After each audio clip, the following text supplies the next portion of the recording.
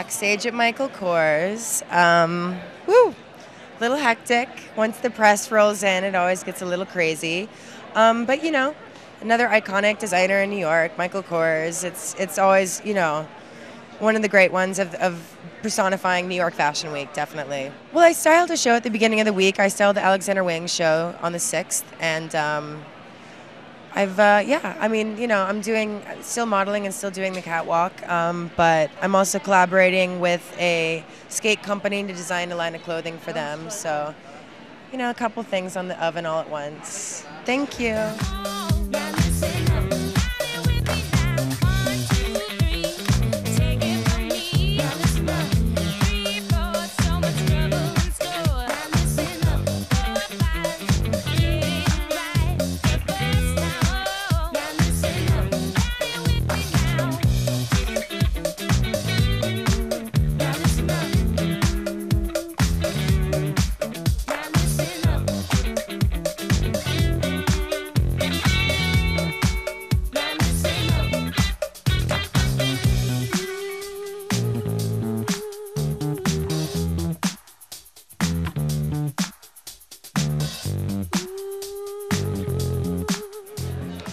Fashion TV. We're in New York for the Fashion Week. I'm just finishing, about to finish my makeup, which is really tan as always, which I love to be tan, and I cannot, I can never be so tan, you know. I have to put always makeup on. and uh, we're almost ready to start the show.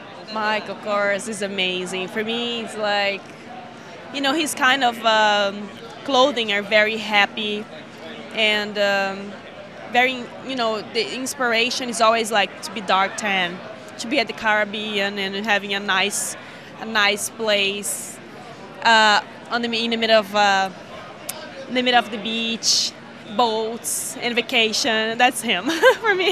My style, it's more like the comfortable things right now at the moment. I like, um, I love rock and roll. You know, I love just like some clothes some clothes that you're just fine with, you know, just, just put on and you just feel great. I'm doing a baby line clothing um, in Brazil, and I'm doing a very rock and roll baby line, which is great, and it's doing very well. And I'm, uh, my plans are to come here to America, to bring the, the label here, which is my name.